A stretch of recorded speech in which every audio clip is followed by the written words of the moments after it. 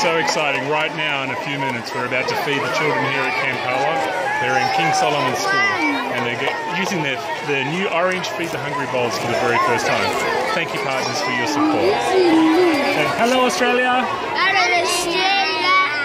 very good. Say good day, mate. Say good day. Yeah.